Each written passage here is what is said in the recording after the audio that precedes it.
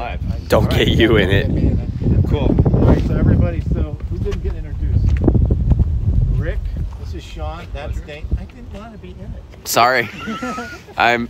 Uh, how does it? It needs to go. up and down. Oh, There. There we go. There you go. Um, There we go. So that's Rick, this is Sean, this is Dane. Pleasure. Dane took this class, how long ago? A year? Two years. Two years. years ago? So. uh, And and I was your third. No, just kidding. Yeah, well. um, who else didn't? Brian, this is Sean. Pleasure. And Dane. And you, everyone else got introduced, Yeah, so there you go. cool. And he's going to show us his rig. Yeah, so basically, uh, this is the car, uh, car camera rig. It's basically you're looking at like five, six foot uh, carbon fiber poles. Um, they're mounted to the car using the black rubber suction cups. Um, then you have, it basically comes with a kit. Uh, you have different size kits, and that they're all based on length and the kind of gear you're looking to mount to your, I mean, you can do stills, you can do motion. So a big part of this um, is kind of all of your accessories and putting together. Again, like the thing to keep in mind when I'm doing this and showing you guys is that when you're doing, most of the time that I have used this thing, it's usually on like an Indy car on a racetrack. So usually when I do these shoots, it's for, you know, it's for magazine. And I literally have between eight to 10 minutes on the track. And the only time I have to set up the shot is when they're literally breaking down the car to put on the dummy, uh, uh, I would say, vehicle equipment to be able to transport the actual vehicle to the track. And they tow it out. And I literally have to kind of pre-set up my camera angle. So what I'll do is I'll, you know, I'll bring on my camera and I'll set up kind of what I'm looking for with uh, the angle, what the track is like. And usually beforehand, I'll go on Google Earth, I'll look up the racetrack, you know, I'll look at the, the press photos from events that have happened, you know, like I think the, yeah, it's the uh, uh, Texas Motor Speedway, I believe it was where I had shot with, you know, the last uh, IndyCar. And so I'll look at kind of what the best angles are, the best turns, and kind of what I have access to and what I'll be able to get done within 8 to 12 minutes. Because usually they just give me the time that they're doing the track walk. Normally before a race, the racers go on the track and actually walk the track to get to know the turns, see if there's anything that they want to notice for, you know, for keeping memory for when they're racing. And so basically during that time is the only time I have to do these rig shots. Now with rig shots, you're going to be using ND filters.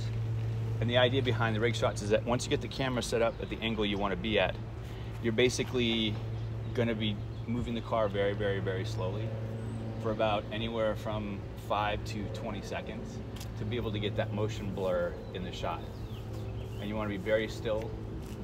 And the idea behind being still is that the car ends up being, you know, sharpened in focus. Now when I use this, this thing on shoots uh, on location, normally what I'll do is I'll set the rig up and then based on where we are on the track and where the sun is, I'll kind of get my background hero shot with the action on the speedway.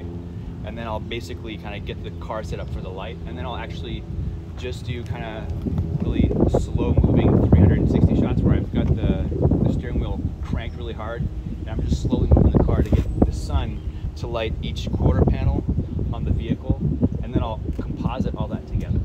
Now, so on top of getting the shot that you want, normally I have an assistant with me, like when I'm doing the racetrack stuff, behind me shooting the racetrack, so that way uh, I get all the pieces I need in order to be able to drop that into the best background that I want, because most of the time I don't have the right amount of pieces, or I'm, you know, something happens, like I've had batteries go bad in the middle of shooting, and the, the mount is actually stuck to the bottom and you can't get, so I had to take the camera off, so I lose the hero shot that I had just had, so I basically starting over from scratch, putting a new battery in, and then kind of doing everything, you know, from scratch again. So I'll shoot those background pieces, and then once I'm done, I'll take the rig off and kind of do a few quick shots without the rig on it, so then I can kind of keep an idea of what was in the spot of where the rig was when I did do the shots. Uh, for the IndyCar stuff, that's extremely important because a lot of times you're dealing with logos and branding and all that other stuff. So some of the stuff I can't even see.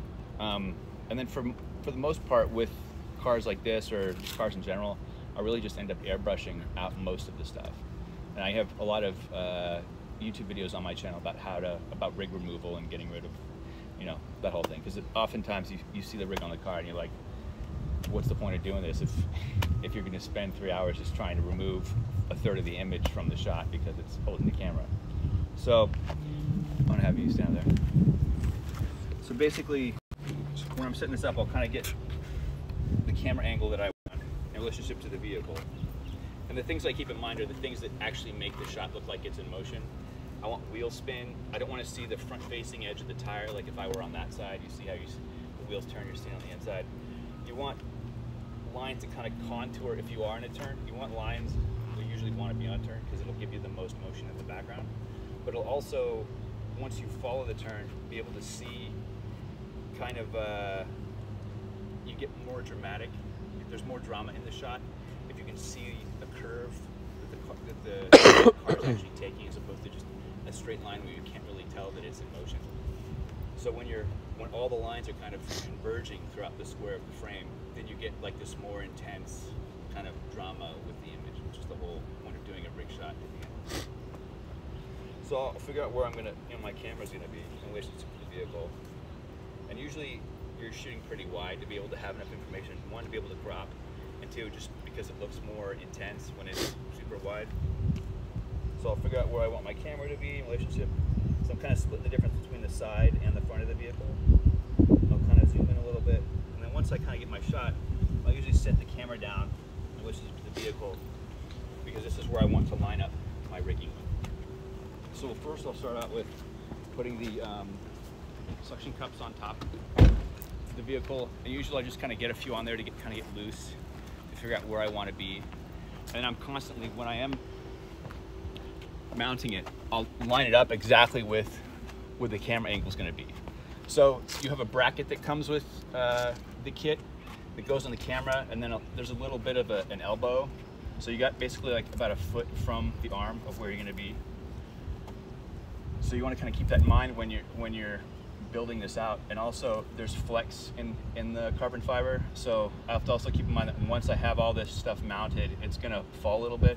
Now it's pretty windy right now, and then also when you're on sheet metal, if you can see the top of the car and how it wiggles, so you got to keep that in mind too. So there's wind, there's all these things working against you when you got to be dead fucking still for you know 20, 15, 30 seconds.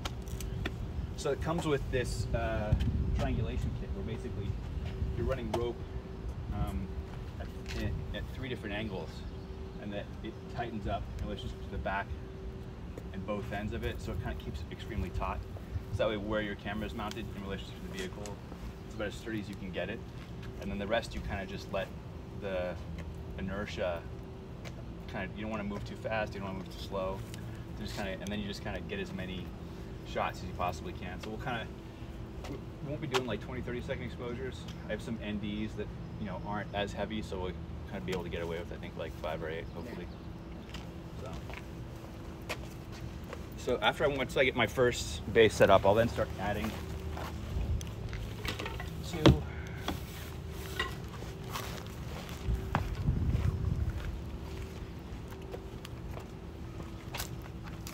And these just kind of slide on. The thing you have to keep in mind too is that when you're doing this, is that these are hot right now, so there's a lot of flex in them. So what happens is you can put them on hot, and then it gets cold, and the next thing you know, this thing's shrunk on there, and you're by yourself trying to get these things off. And it's a bit of a nightmare, especially when you have an entire race team telling you to hurry the F up because they gotta go.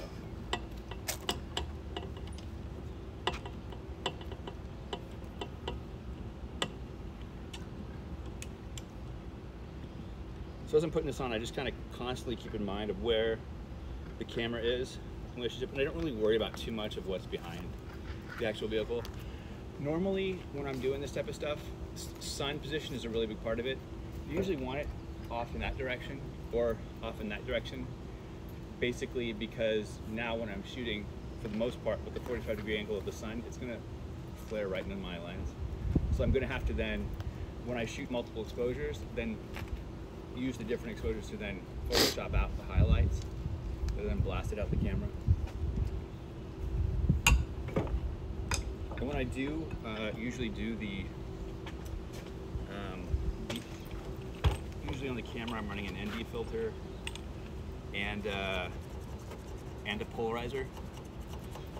And it gets kind of tricky because once you have all that all that Yeah. glass on there, trying to see what you're doing while you're doing it. So a lot of it's getting everything pre-sorted out before you're actually doing it. You guys have any questions about how this is done so far? All the This is the class that never asks questions. Never ask questions. Swear to God. So they're not me. They're not you, no. Mr. Questions. Oh, there you are. What's up? You do. Good to see you, brother.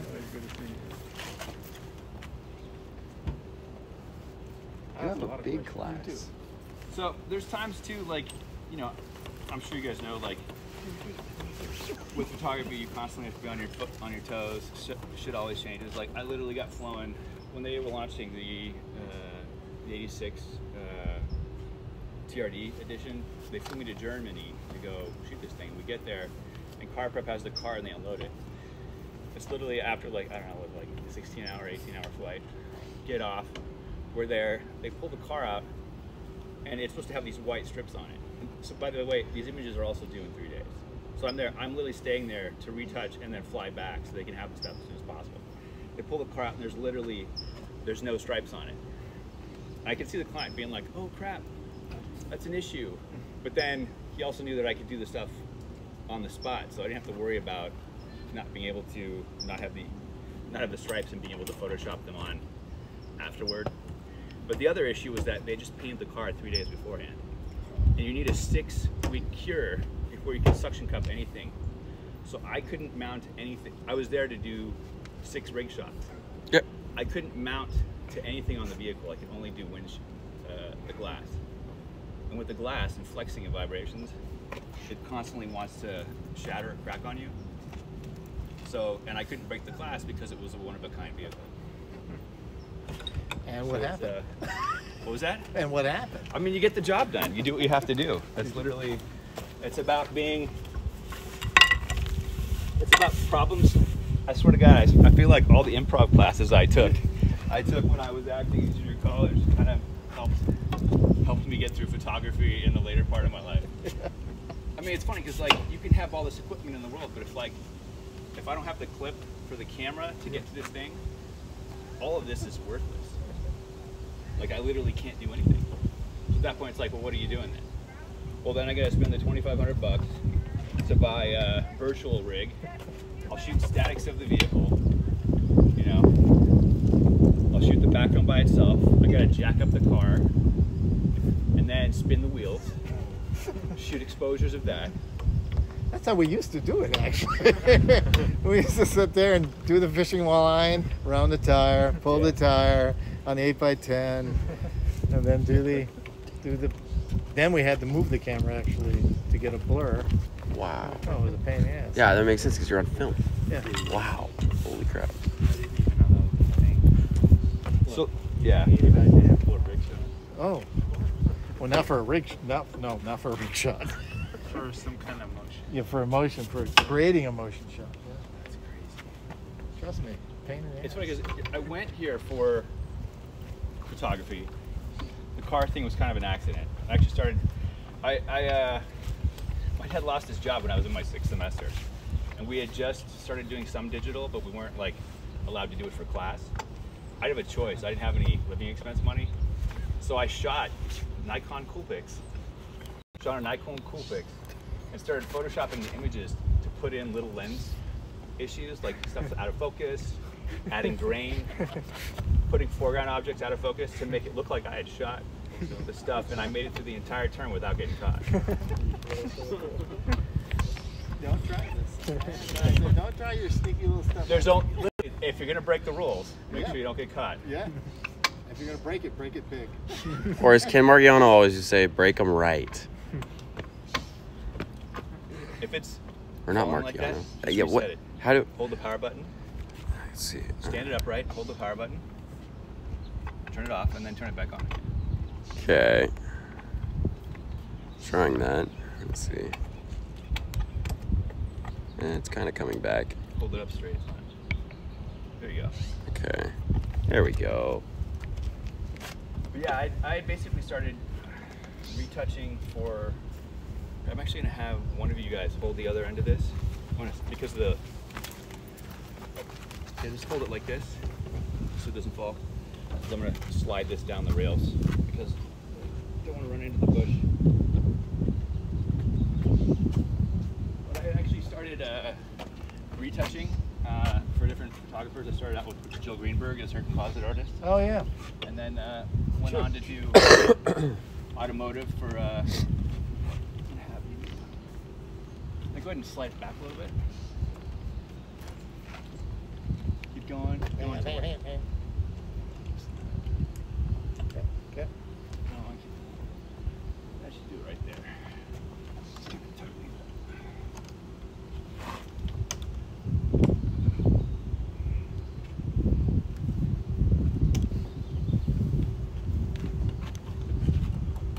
Yeah, I just tied the pin top there. Yeah, I started out as a composite artist, just doing retouching and then full on uh, composite uh, car photography. Then started doing all of, like car and driver, Oh yeah. driver's covers, a lot of stuff for MPH. And I got to the point where a lot of the stuff I was doing was kind of based on this like, can you save this? Uh, type of concept. Can you save my career? like we shot this, we had, you know, they, they give all the excuses I give now. You know, like Yeah, right. we had five minutes, we didn't get the shot, this happened, it didn't work out. Uh, all we have are the the images on the of the vehicle on the floor of the Detroit Auto Show. Can you can you put them in a background, add motion and rain, and uh, put them on the streets of Detroit? Sure, Sure. no problem. So that's how, to, how that whole thing kind of started. That's not a You gotta make it sound easy. Yeah, I'm gonna just add it in the street to Detroit with rain. That is not easy. So these will be Well, kind of like stabilizer cross time, beams. not bad. That's what I'm thinking too. I struggle so much with the retouching aspect. I like retouching, but the compositing, the layers of that is, is a lot. Yeah. Adding background is like the hardest thing. Yeah. Well, in Getting to look right. And other stuff, it feels simple. But in car, you have to match the interior light with the exterior light, and it kills you. Yep. Nice. Now I Yep.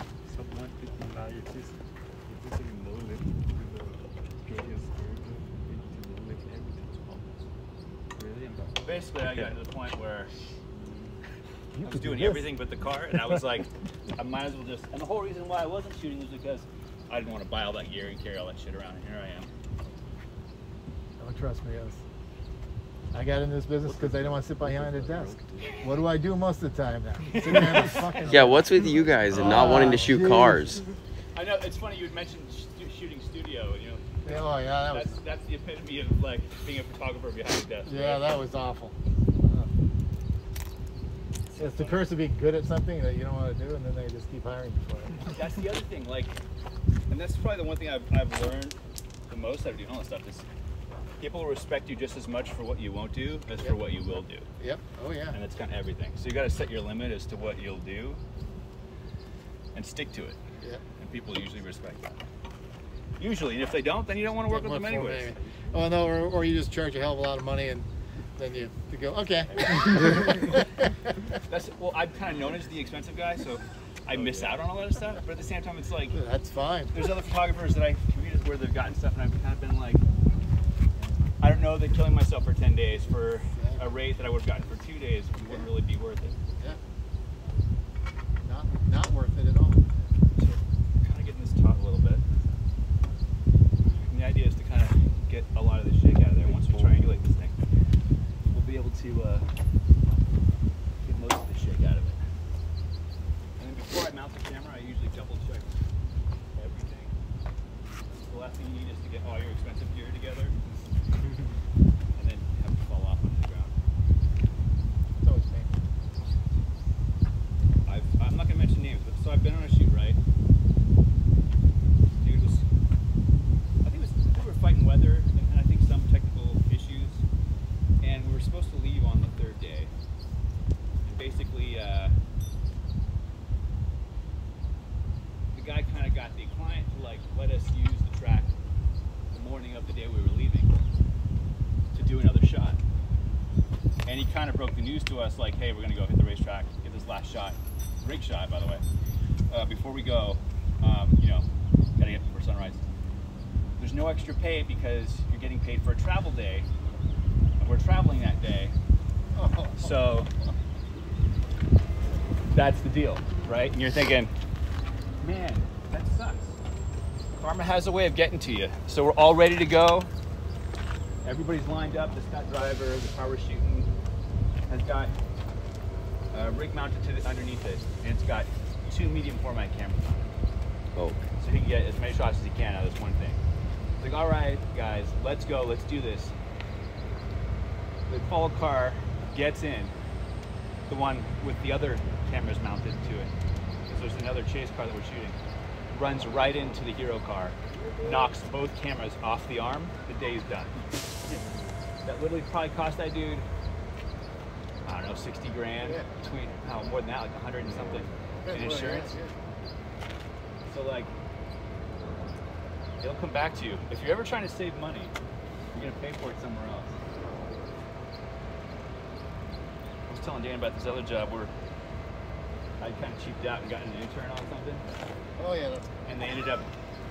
You know, I'm like, I'm doing this tennis thing. I'm like, man, you know, I don't want to spend all this money on this guy. I, I'm doing this kind of as a favor. Like, I'd rather just cash and get an intern, right? But I really don't need a second person. I just need someone to hold my stuff and pretend to get B-roll, right? Dude broke about sixteen hundred dollars. Like what I would have had to pay him, what I would have had to pay a real assistant is what he broke in gear. So it'll always come back to you. Right, Dan? yes, sir. I'm laughing because I'm gonna text a certain someone about that right after this. Oh, oh, you're talking. Oh, because you know. Because I know the person who Oh, linked okay, you up okay. with that person, Oh, yeah, yeah, yeah. which I'm not gonna name any names. But you got to be careful with who you're recommending too, because when you recommend someone, they are a little bit account, or you're a little accountable for what they do. A little bit. A lot of We it. represent them. Yeah. We've talked about this. Yeah.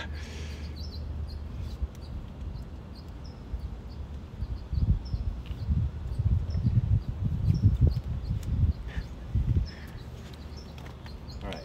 This is the third and final one. Normally, you only. If it's, I would say if you're using more than three poles, generally, I mean, probably generally only use two of these. But for the demonstration, I'm going to use all of them. How long does it normally take you to do this?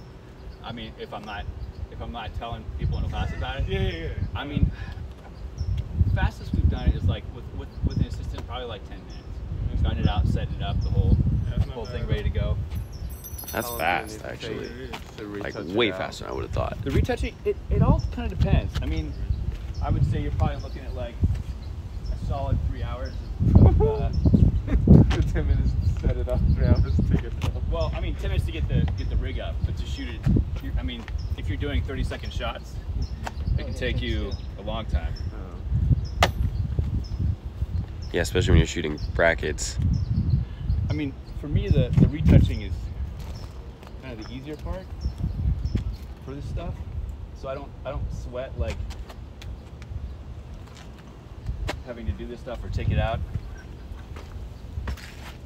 I mean, it can be a lot of work, but it's not gonna make or break everything.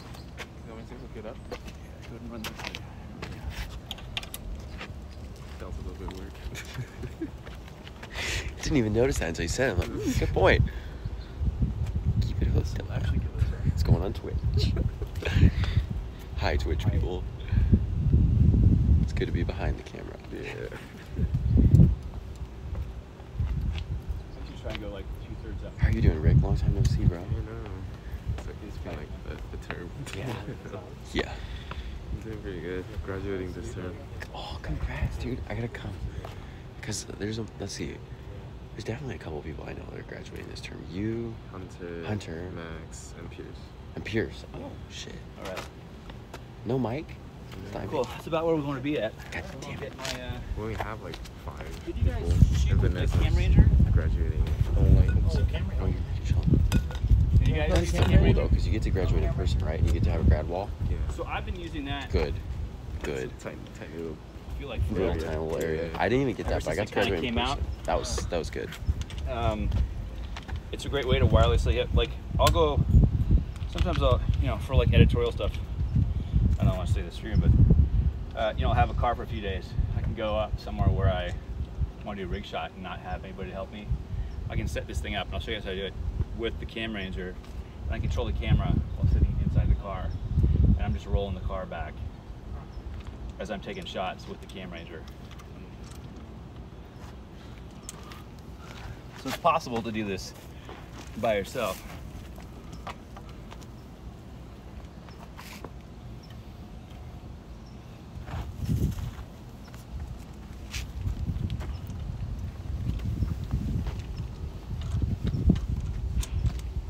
Oh, you know what? I almost broke my own rule. I didn't double check everything before I mounted the camera.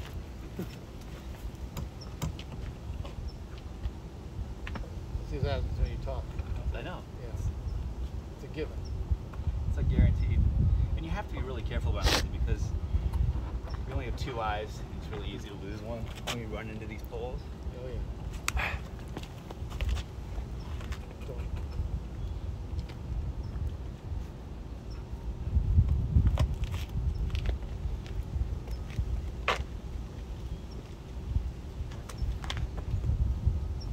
Get there.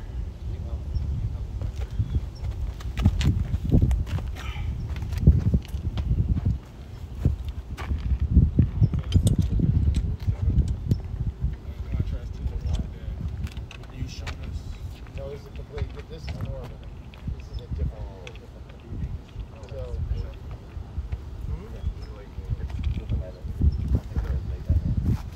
Yeah, this is this is well. The other one's pretty fast too, but um, this is just a different type of thing. So the other one that I was showing you guys. I'm looking forward to doing this with you one time and for real. This is so much work though. Dude, it looks horrible. Well, yeah, there's less. I've never actually done a real rig shot You still got three. because of that reason. Do You do them very often? No. I didn't think so. Especially when you're the CGI master. I feel like they would rather hire you to just do it. You were speaking on IndyCar. Are you going to Long Beach this weekend? no. Uh, you know, actually, I'm meeting up with an engineer, but that's it. Hmm. Uh, normally, normally in the past, I would have. Um, are you going? It's actually a cool opportunity to shoot a bunch of stuff Yeah, I went last year. without having to, you know, you know, needing all that access. You can get pretty close to the vehicles, which is also Yeah. great. The back of all the passes look the same. So if you flip the pass around and keep quiet, you Yeah. kind of get anywhere. So can I get this thing set up here? So bad because you can't get it. You heard it on Twitch first. All right, so I've gotten this tightened up. So there's there's several w- with this. There's a process and an order in which I need to do things that way. Because once I get the camera set up to where I, I I have it focused, and what I usually do is just because my vision isn't that great, and it's hard to see on this tiny screen, I'll use the autofocus just where there's the most contrast. So I have right here on the car. So I'll put the autofocus on the car there. Normally, if I'm tethered with a Digitech, I can have him sit there and double check it until it's good to go. So I'll kind of click on the autofocus a few times to get it set up. And then I go manual, and I'm not touching this thing. Now, the next part's basically, I gotta put on an ND and a polarizer with a step up because because we are wide if I don't have the step ring on top a third of the image is completely dark from the the, the vignette from the actual filters themselves because I'm using two filters so here we got the step up ring the 72 to 77 I'm trying to see here so that's pretty dark this should give us about probably I would say 8 to 12 seconds at like 120, 160 ISO. I usually stick with the 160, 320, 640 ISO steps just for the distribution of grain is the least noticeable at those uh, particular ISO depths. Now the other tricky thing is because because once I get these NDs on there, I want to basically figure out where the polarizer's at where I'm get where I'm getting now what I usually do is I throw it up into the A pillar to kind of get a nice dark gradient across the front windshield and then have fall off on the door. So once I get that set up, I gotta look at where the lettering is on the polarizer because I can't, won't be able to see anything through the lens because I'm shooting it several seconds. So get that set up on there.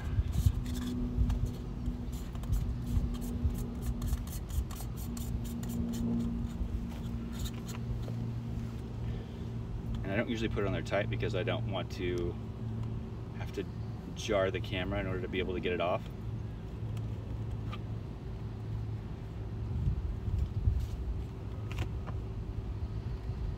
So it's on there. This is the angle at which the polarizer was working. So now that I have that set up,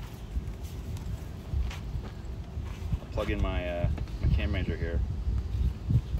Now what the cam ranger allows me to do, and I, I use it a lot on jobs, is Yep. kind of when I'm out in the middle of nowhere, is it allows me to show the client what I'm doing wirelessly without having them constantly on over my shoulder, being like, "Did you get it? Did you get it?" You don't like that? I mean, it's it's yeah, it's it's hard working with somebody directly over your shoulder constantly, but uh, it, it also allows me to see what I'm I'm doing without having to look at the, at the camera. And normally, because I didn't feel like risking my expensive gear on a demo, uh, normally I, I work on an R5. This is the Mark IV. So it's a little different set, setup, um, but the functionality and the purpose that it serves is basically basically the same. So just kind of do that to kind of keep it awake a little bit. Now I'm going to take this stuff off of uh, the car. Ready for a shot here. You got the camera goes to the iPad. Yeah. So I'll be able to see and control the camera from the iPad.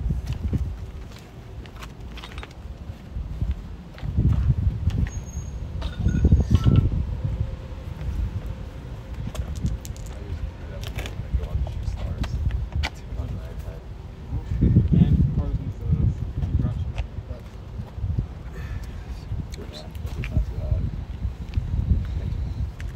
Sorry, that comes with it, but I don't know what it's for. That's working out. Yeah. While you're in between.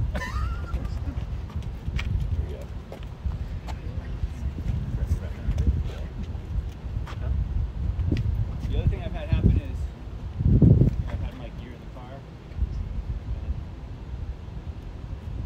and Now it suction cups to everything, and then you can't get to anything, and you have to take it all apart again.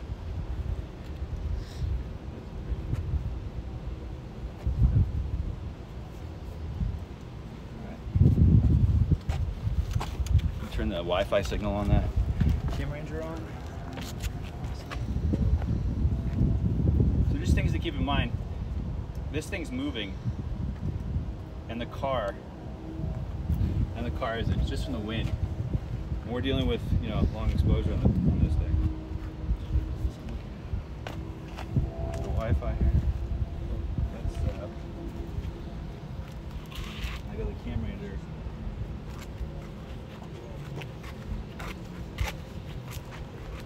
I do like to shoot up way, but sometimes I'm stopping down to get sh- like a either to shorten the exposure. It's like I just can't carry. I'm just not going to carry uh, every step of ND that there is, and then figure out. You know, by the time I'm on the track and I'm getting something shooting, like the last thing I want to do is take time away from the nice light to add another filter or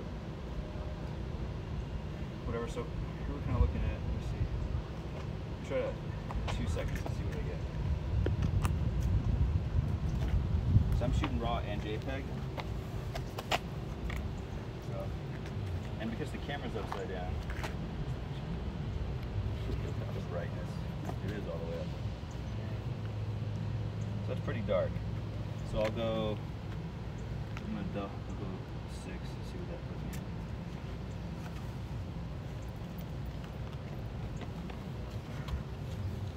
at. Yeah, it's coming. Oh, So that's getting close there. So we'll go. So if I were to open up, it would give me shorter time. If I were to close down, it would give me a long time. So I'm gonna, I'm gonna go with eight. Hopefully that'll end up being where we want to be So the challenge is with black cars, exposure, right? You got to really, nothing else in the scene is as dark as the vehicle. So being able to find a happy medium between, you know, if you look at all the information, is all in the shadow areas. So just for, just for the sake of time, if I go to say nine, just to see what that looks like. And we're still shooting it at an eight second exposure.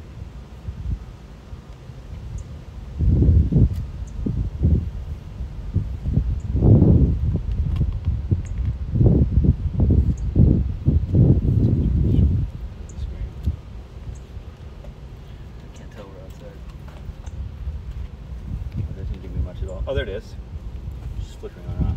So it's kind of the difference we're getting between shorter and longer. So that's kind of, I think, where I want to be. The highlights aren't completely blown out. I have information in basically everything. A lot of times I'll have to shoot stuff with, with headlights on, headlights off, DRLs. The client usually wants options. Um, and then usually what I'll do is kind of get a nice static of the sheet metal just by itself. So I, I guarantee you, for, right off the bat, I know I'm going to have a sharp vehicle because I'm not moving the car yet. So now I'll start to get into the car. And what's your process like, Sean? Like, so to get the rig out, do you have a shot beforehand? To I always do that at the end. okay, Because the light's going to change, and the closest I'll get to it is is the end is usually the safety okay, because that'll be the closest. I mean, sometimes I'll, you know, like I like when I was setting up the shot, I took a few to just kind of get what I need. But in order to be able to have one before and then one after, it kind of covers all my bases. But Yeah. at the end of the day, they're usually just for reference. For the most part, I'm going to be airbrushing or retouching out the rig because it's just that much easier rather than using curves and adjustment layers on top of something that's already there to try and kind of match the light. Because normally I'm going to be, so I'm going to be, we'll see, but basically I'll have an exposure for here, I'll have an exposure for here, I'll have an exposure for the front, and then the windows, probably rotate the polarizer to be able to get that clean. And you're going to get all these different exposures and then bracketing on top of that. So, and then I'll want to sandwich all that stuff together. A shot that I take at the end without the rig on it isn't really going to match up no. with. So then you literally just airbrush the rig out yourself, just magically. I mean, it's not magically. Well, not ma- but time consumingly. Yes, yes, to that point. Time consumingly, that's a good one. Yeah. Saying. So, Big words. so I'm going to take this in the car right now. I'm going to put it in neutral, and I'm just going to start rolling back. And once I get the car slowly rolling, is when I'll take the actual exposure, and then I'll come back out so you guys can see what that looks like. But if I were to start the exposure before I started moving, or right when I started moving, I'd have a little movement from the change in speed. And that's the other thing. If you're dealing with brakes that are crap, or you know, car that is working really well, because I have to turn the engine off in order to be able to get the vibration out of the hood, so the shot is also sharp. So there's a lot of variables with this.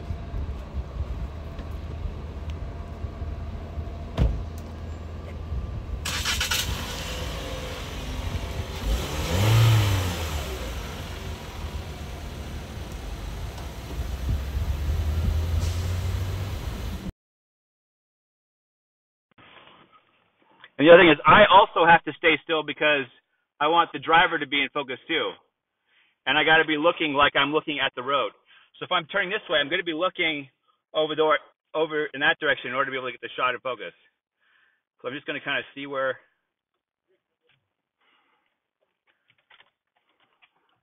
Hold on.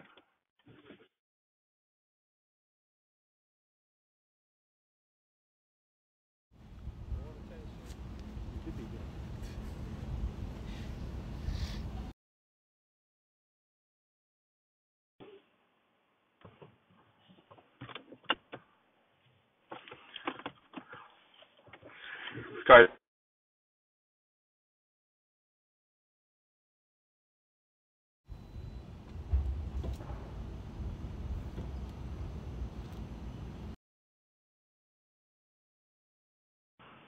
Now I'm going to go.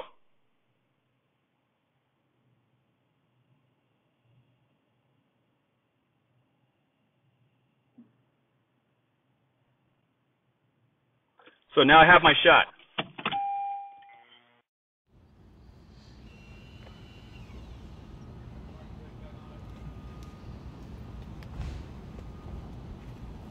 That was about eight seconds. I get F9. But this is basically what we're looking at. So you get that. So see, you, you don't want to move the steering wheel because you want to get that highlight on there. Because if, if I move the wheel at all while I'm rolling back, then it, that's out of focus. Luckily, you can't see me as much. Um, you know, I just want to double check my sharpness. That's pretty, pretty sharp. And the only way to double check is I'll go back to the other shot that is static.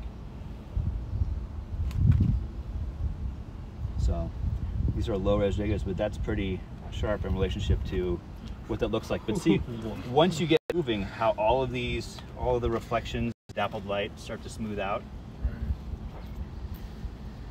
So I've got light on my hood. This part looks good. This part looks good. I want to figure out now how to light this side, right? So the sun is on that side. So what I'll we'll probably want to do is I'll probably do one or two more at a shorter uh, exposure to be able to get some nice road action. Because I, I like I mean the exposure to me looks good. This detail's kind of gone so I want to go if I go with the shorter exposure like you know not as long then I can get a little bit more sharpness out of the objects in the background but I want to keep the speed in here. So I'll come forward and then again roll the car back. And then once I've gotten kind of where I want to be with this then I'll move the car around hard right to get the sun to hit the driver's side of the door, and then I'll have that particular part of the vehicle lit. Can you see that? Yes, sir. It shows. It does. All right, good. Go back to the other stuff.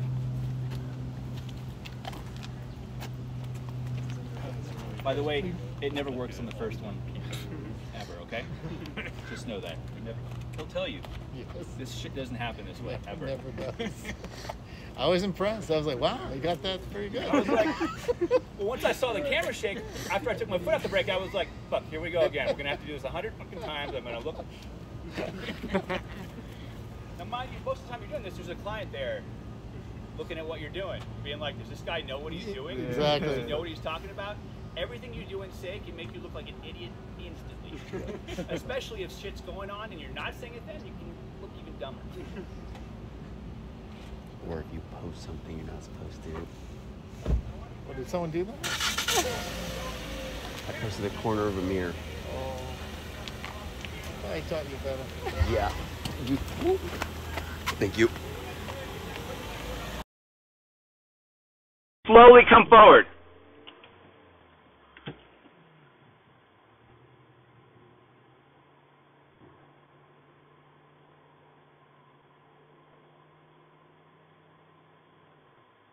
Okay.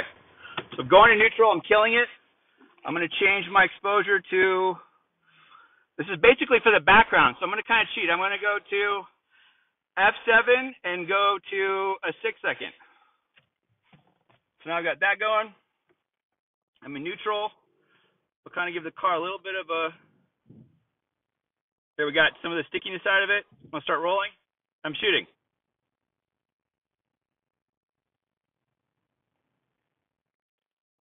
Believe that was the shot. It's close. It's actually a little bright. So I'm going to go with a shorter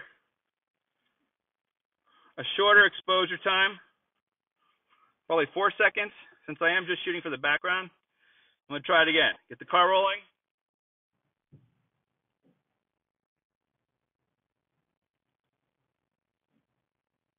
I'm gonna do another one just so I have something.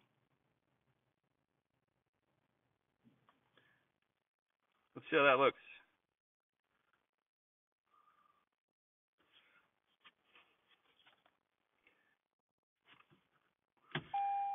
I'm gonna start it back up again and try it again, just so I have back.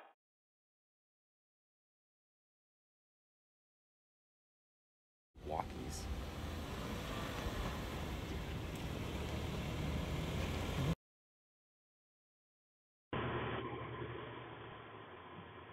All right. Back in neutral. I'm doing about four second exposures. So I'm gonna start rolling again.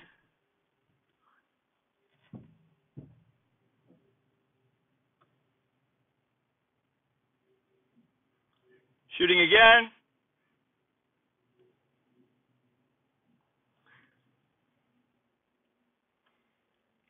I actually like that one. Here, I'm gonna.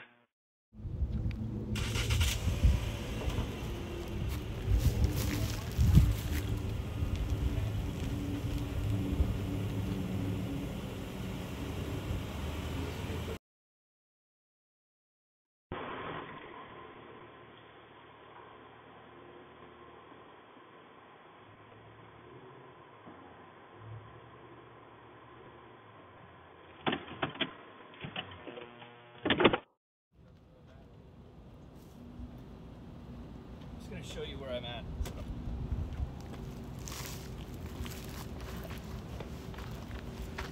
This was our first shot. And now we're, these are some of the exposures. You can tell, you can see the difference between, I've stopped halfway through this, so you get hard lines on stuff that should be completely smooth like that. So you see the difference where I stopped kind of in the middle. This one isn't as fast. Looks like I may have just not been rolling fast enough. This one's pretty close, and I get this clean line here. This one's even better. So I got the shadow exactly where I want it, not touching the vehicle. It's kind of squared up the framing on the, the shot. I've got really nice spin. There's a building in the background, it's in focus. And I've got this foreground that's totally super smooth. You can see the line there and there, and you also get some of the motion lines on that side. And then I can pick up some of this, which to me is even cleaner, and then drop that into that other shot because it's a little bit, you know, fuzzy there. So now that I've brought the car all the way up, I want to try and get some light on this side. And if I can't do it with the particular angle I'm at because we don't have much room, I'll probably do it with the exposure. Just kind of bring the exposure up and lighten up that side.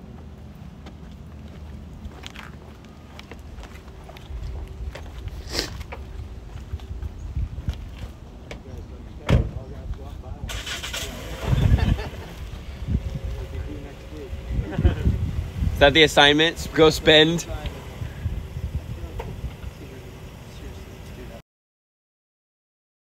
The only thing I care about for this is literally just this side of the particular vehicle.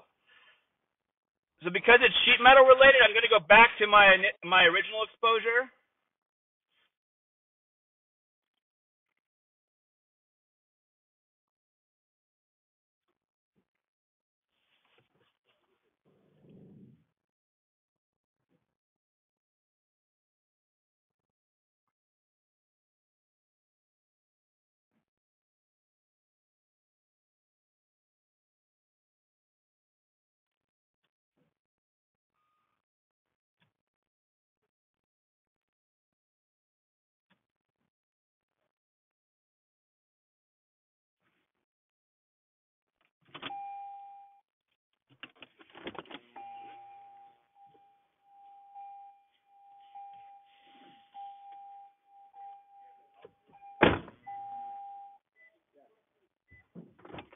About 6,500 bucks. Now I, you know, that was when I bought it. It could be different now, and there's also different uh, accessories and attachments of some been updated.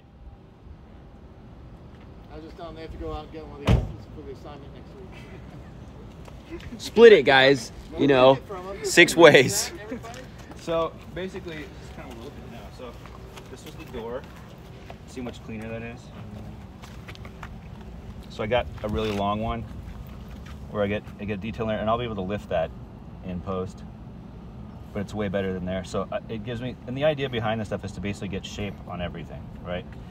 And to do it just enough to where it looks real. It doesn't look fake. It doesn't look like it was photoshopped, but it enhances the design of the actual vehicle. Now, if we had all day, I would then do this side a little bit, but that actually looks really good. So then the other thing we can do is, I don't know if I have, I don't. If we if we basically had some white foam core, What do I always tell you guys? I have some. I have some in my car. I have some in my car. yeah, people, yeah. So basically, what I So would do do is I. I would then hit the badge. And shiny boards. The badge is probably the only thing to me that looks a little bit like it's lacking a little bit of luster in there. Like it's it's they usually like this to be super clean. Like if it like if it were up to them, they would it would be you know just like this, yeah, like like Glowing. chrome glowing, like super lit. It's You an know, which is- angel. which is what you want to do. You know, sometimes what they do is they'll even like, I don't know if you can see this here, they'll want to be able to see the Toyota on the badge on the wheel, even though it's spinning. So Oh, boy. what I'll take is sometimes is I'll even. You can, I'm just trying to see if you can see it in any of these. You can't in the first one that we did. Look at this. Some of the other pieces. But it gives you an idea. Like, I mean, I had a static version of it that I can drop in there. Because, and then sometimes, you know, they want to be able to see some of the spokes of the wheels because they want you to be able to see the design that, you know, sometimes they've, they've updated it or something like that. So you're. I've seen a lot of rolling shots like that. They, they want the car to look like it's doing like 100 miles an hour, but they want everything in detail, sharp tack, you know. So you can- Wheels only going five.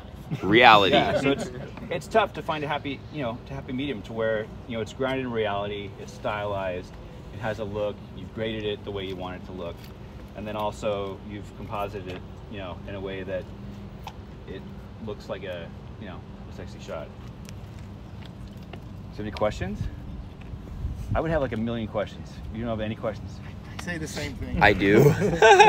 Like I guess there's, I guess. So I have a question for you. So Yeah. how, how many do you do car to car?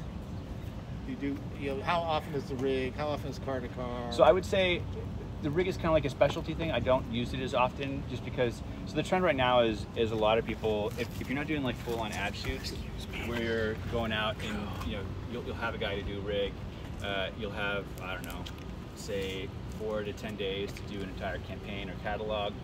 Um, you know, you might throw some rigs in there at sunrise or sunset, kind of close out your day. Uh, there's some car-to-car stuff in there. Um, lots of lifestyle uh, with hero shots, and kind of cover, you know, knocking out your details and your interiors um, at multiple locations. There's there's that end of, of the advertising stuff.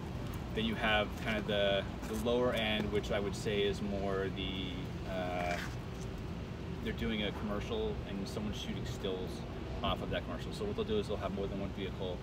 You know, you'll be at a separate location or kind of the same place and just kind of trade spots. One person's shooting one thing, the other person's shooting the other, or you're poaching off what the other, what the motion team is capturing. Um, you know, you'll also have specialty stuff where they're launching a particular vehicle. Well, there- you, you won't do as many days. Maybe you might spend more days, more time on post. Um, and then, you know, it depends on what level of lifestyle they want in there. You know, there's kind of a, there's always a trend. You guys got kind of always got to keep up with what's going on uh, in terms of like what people are focused on, what people are liking, what people are hiring people to do. A lot of it, the, you know, right now they're kind, people are kind of restricted because you can't really fly people in. There's, there's a risk involved, right? Everything is heavy COVID. Everybody gets tested the day before, if not the day of. And if somebody gets, you know, it's hard to invest in somebody to fly them from Europe over here shoot something and then not spend all this money and all this time and then not be able to you know, have them shoot because they have COVID or something like that. So you, you know, get somebody local or someone that's been working a lot already that already has a setup and a system. So it's, it's been very focused. And I know it's, it's really been you know hard for a lot of people to be able to get in front of a lot of new art producers and art buyers with new work because nobody's going to an office, Right. nobody's taking portfolios, nobody's you know nobody's getting FaceTime with these people. It's really just whatever the Instagram algorithm thinks they deserve to see is what they get. So it's so you know that's kind of why I've gone the stream route, right? It gives people an opportunity to one see how I work. Three, it gives them intimate time with me to be able to ask me questions about what I'm doing as I'm doing it. So I've kind of in the last I don't know since the beginning of the year gotten really deep in CGI. Uh, there's a lot of stuff that I've wanted to do that I haven't been able to do, you know, production-wise, just because it's it's unattainable. Um, and CG's kind of presented. It's kind of gotten that much more accessible, I would say, recently, in terms of, and then just the possibilities. You can mix CG with photography in ways that I don't think you could before. You know, I can use still backgrounds in CGI vehicles, or like I did a shoot in Lancaster on Friday, and there weren't the level of poppies that we wanted in the actual shoot. So I'm thinking, CGI the poppies in there. That's really easy to do. Um, you know, you can do that. You can do the rig stuff. You know, motion stuff is slightly easier. You know, there's so much more access to things like that. So with the streaming stuff, it gives them insight into what I'm doing. It gives them an opportunity to see what I've been working on. You know, I'll have a slideshow of the stuff that I've done on the screen while I'm have my work, you know, workstation, Photoshop open, or you know, browsing through stuff. Usually stuff that's already been published because I can't go through and work on things that are I'm in the process of doing that aren't live yet because it becomes a a legal issue and you'll never work again. Uh, you know, and then the other aspect of, of streaming is that they can go in and look at what I've done on their own time. So, it's three more ways to get access to me that they didn't have before. And then I don't have to push the stuff on them. I have to email blast them. I don't have to reach out to them on Instagram, you know, and bug them and be like, you know, funny, we both love bananas. You know, like how do you start a conversation with somebody over here? Like, you know, I wear thongs too. You know, you, there's nothing like, what are you gonna say? Like, TMI, by the way. right. No, but half the time you're saying stuff you don't believe You believe it because you're just trying to make conversation. Make you know, a anyways. connection somehow. You know, and all of a sudden they've bit, you know placed a judgment on you on the first four words you've said, and it has nothing to do with your work or who you are or any of that stuff. So it's just it's just hard now, and I I figure you know having been on Twitch and having seen the way streaming works, and th- there's not a lot of people that are doing automotive that are in there. Right. So in a market that isn't already oversaturated with a whole bunch of people, there's an opportunity. So dig deep, do what you can, be resourceful, educate people about the process, let them know how you do what you do. You know, we're all photographers here. Everybody's good at something. Yeah. You know, Yeah, you're yeah, doing this don't don't be it. afraid to share. I mean, That's the other thing. Like you, you have, you have nothing to lose by putting yourself out there. Like, what are they gonna do? Not hire me more? like, I mean, Right. if, if you're not working, you you know, what else are you gonna do? You know, I do the email blast, I do the social, I do the website, I do the, you know, the portfolio reviews, the, you know, all that stuff, where they're like, you know, claim to get give you access, and I've done those things, and, and they're great. They give you an opportunity to get a name and an email, and and, a, and they get a FaceTime with you, and, and they get to know you. But when you've spent four days meeting with Oh, 30 yeah. people a day, Sean, who? Yeah. Oh, you did what? Like, so when I first started doing that stuff, I was crazy. I literally, I wore outfits. When I say outfits, like brightly colored patterned shirts with brightly colored. I was in Palm Springs, right? I had a business card that said that guy on it. And behind that guy was the pattern of the shirt I was wearing. So that way, when I gave people my business card, they would be like, oh, and they would remember me instantly from the card. And then that way, when I sent out promos and emails after the portfolio reviews, I used the same pattern. So they would, like, I'm trying to like brand myself. So Sean, that literally was talked about in the graduation speech last term, like almost identically to what you're saying. Our commencement speech was very much just be different, like be fine in a business card, just, like what you did. That's like- I, I didn't know that. Another thing I did was That's super cool. we had these portfolio reviews in New York, and what I decided to do was uh, a friend of mine was was in uh, that show uh, Hell or Hell on Wheels. Hell, Hell, well, I don't know. It, it was a show about like an old western. Oh. It was ending on like Showtime or something like that. But one of the guys on the show was a friend of mine, and so I was like, let's. So I created a story around who he was and his character. There was the portfolio reviews. I used the uh, Hasselblad demo I asked them like, hey, you know, can I do a shoot at your demo? Because they were already there with the camera and the light set up, and they're like, sure. So I brought a makeup artist out and a stylist. We created a storyline about this guy who basically gets in a fight at a bar, goes out to, uh, or gets in a fight on the street, goes out to a bar, gets drunk, picks up, you know, one of the, women in the, the, the movie, and then goes home. So I did the shoot that everybody saw, and then I invited everybody out to drinks, to where they got to actually be a part of the imagery that I was shooting and then share it on their own social. So I gave them the hashtags and all this stuff. So it was a way to promote myself and what I was doing and a small concept of like, hey, if you guys to do were, were to do like a big advertising shoot and then bring your hardcore fans or niche bloggers or you know streamers or whoever to part of your production or your showcase, then they get to then advertise and promote and market for you as a way to like mm-hmm. get hardcore people to be a part of the process of what was going on. So that way it's not just like a, a one-off or you know things like that. So it's a small scale proof of concept to where like, hey, you can actually be a part of what's going on and not just do everything kind of the way that it's already been done. Everybody thought I was crazy. And the next thing you know, We just did that on a music video last weekend. people are doing that. Yeah. Yeah. Exactly. You never know. You just Well, yeah. keep trying stuff.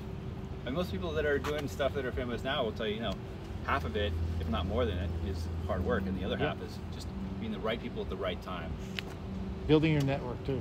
Yeah, just and build your network. maximizing. That's how you build your network. Yeah. How, 'Cause your network will help you all how often are you on a job slash working on a job? Like, could it be seven days a week if you wanted it to? It's see, one or two is a, it's a, freelance is completely different. Like you can you can literally when it's raining is pouring. Like you're Yeah. busy, you're up to your ears. Like we shot what was it? We shot Friday. Uh, we did two shoots uh, yesterday. Uh, and it's just been kind of like one like Yeah. every other week type of thing. Uh, you know, but there'll there'll be times where there's nothing, and there's times where it's like you know, back to back to back. So it, it dries up. Like there's not much it ebbs and flows. It kind of starts to drop around July. I would say it's kind of July to October. Yeah. uh, But then the next July, you'll be busy, the busiest time you've ever had. So It- there's it no rhyme or reason. Everybody was dead during the pandemic, Right, and I, right. I got the the Nike split screen campaign. I did all the compositing for that, um, and then I launched the 2022 Kia Telluride Black edition or uh, Nightfall edition. So you know, we, and we literally were one of the first people out shooting. The lockdown was in March, and we shot at Moab in, in May, and we literally had, and we were like, all right, we'll use this as an example of how to show everybody how How easy you it is to do it. shoot. Yeah. I mean, we literally had people out there with uh, UV lights, like flashing the inside of the vehicles that we were doing. You know, we, I mean, we had medics, we had testing, we had literally everything that you could possibly do to show people, like, hey, you can still shoot You with all the this stuff going on. Right. So it's it's communicating to people how rather than why not. Right. Well, I think it's also like you're showing them instead of just telling them. That's a big thing That's- too. That's the big part. People like doers rather than Yeah. talkers. Yeah, talkers and, and instead of just sitting there going, well, I can't shoot. No, no, yeah. You demonstrated that. Yeah. There's a, like there's, your a, COVID art to series. closing a That was insane. It's it's it's a big part of it. Yeah. So. Yeah, any other Anybody? questions? Anybody? Anybody? Really? Oh, oh God! You got me excited. He put Oh, his hand up. It's just a fly. Too many. Dude. Can't even think of a question right now. Can't think of a question. Okay. Okay. Can we do motion? Or we'll go with CGI or With the motion stuff? yeah. Uh, Which one takes more time or like cost? it depends. I mean, CGI is right right now. I mean, you're looking at it like it depends on the level of like what the motion is that you're doing. I mean, I know a guy who's done some of the Hummer stuff, uh, where that stuff with the new Hummer. So a lot of times it doing things is based on access to vehicle. If a vehicle isn't made yet and you want to market it, you have to do it CG. So, uh, you know, and then there's times where you know we've got like a one-off Cadillac Lyriq and we're shooting it, we're doing motion with it, but we're kind of restricted because there's only one of a kind. So, you know, we can't mount stuff to the vehicle, we can't, you know, take it to crazy places. And that's the other thing, you know, it's sometimes stuff's code black, so you literally stuff's code black, nobody can see the vehicle at all. So you have to be in places or shoot thing, you know, where nobody can talk about it. Like there's even code names for what it is that you're working on that you, you don't even know. Yep. Like sometimes you won't even know what you're shooting until you actually are Yeah. almost there. So, You have security, the whole nine yards. oh yeah. yeah, and then there's insurance on the security. Like firms get hired, like you got to have all that stuff in your in your bid. Yeah. There's a whole there's a whole Protocol level for it all. But Yeah. Then if you don't, if you can't like mount a rig to the car, then how do you do the shot then? So uh, then you'll just shoot it on sticks. So like, if, if I had done this with, if I had to do this without the rig on it, I would have shot the car by itself. Would have lit it right. Would have uh, would have done foam core, reflectors on all sides, hit the wheels, um, then jack the car up, spun the wheels, doing long exposures. Then take the vehicle out and then shoot the background as is, not moving the camera at all throughout any of this stuff. Oh, oh. So, and then what we do is then in post, motionize the background, you know, drop into spinning wheels, and then use all the sheet metal that you want. And then sometimes what I would do is just kind of add motion because as you see, like the way that the, the vehicle looks here to static compared to how it would be, you know, in motion. See how you get all these really nice blurs and everything? Like everything becomes really soft, but the edges are really hard. So I'll sometimes I'll mask out each each panel and then motion blur it the way that I want it to be. So uh, it's called Virtual Rig. Yeah, Virtual Rig is the program where basically like you can then motionize every single thing in the direction that you want it to be motioned, and ha- you have full control over every way that you're every which way that you're going um, with what you're doing uh, in terms of post in that direction. Remember, I, I told you guys how you shoot a static all the time. Just Just so, you can- every base is covered. Yep. Because you can pick up a piece like you can, like let's say everything's great, but this headlight's just a little bit out. But you can, you can just drop that headlight in. Now everything looks sharp just because one thing is sharp. So that's yeah, that's the other thing. Like with the stuff where I'm really short on time, it's like I just need safeties to be able to cover myself. Yeah. So that way, if something does happen, I'm, you know, I have something to show. Because the last thing you want is to have absolutely nothing. Yeah. Because then you notice the guy who has nothing, and then who wants to hire the guy who has nothing? When there's everybody out there that has something. Yeah. So it's you want to give them reasons to, not reasons not to. Shit's always gonna happen. You have every and- excuse in the world. Exactly, and shit will always happen. Yeah. It- it- it's it how you react to it that counts. Yeah, that's the other thing is not making a big deal about Yeah. it, solving the problem without the client ever knowing. Yep. You know, Like the crane on the Toyota set, that was not your problem. That was the production's problem.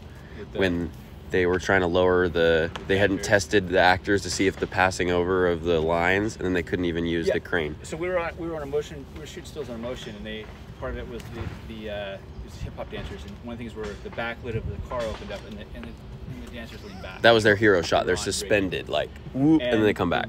Rigging guys had shown every video in the world of how that they had done this before. Like they literally like lowered a Jacula into uh into, into the ground and then had, had him come back up and like nothing had happened. But leading dancers back and they haven't come up, they just couldn't get the ca- the cables placed in the right spot to be able to get the actors to do that, and it wasn't working. Like we'd spent like three hours on it, and finally it was just like, F it. So people got behind them and they just Dressed in green, Oh, the dressed in green just thing. Yeah. back, and then then you're done. So and it's then like production had to pay for whatever, how expensive that crane was. But they played it off like, oh no, we're still using it. So you just gotta cover your bases. Like it's stuff always goes wrong. Yeah. Guaranteed. Any other questions? I tell you. You got any questions from here? Huh? From Twitch? Oh yeah, hey, hi Twitch people. Is it still streaming? it is. All right, cool. Yeah. Well, I think we can wrap it up. All right. Um, I'm gonna. How do we? I'll let you do that, Ben.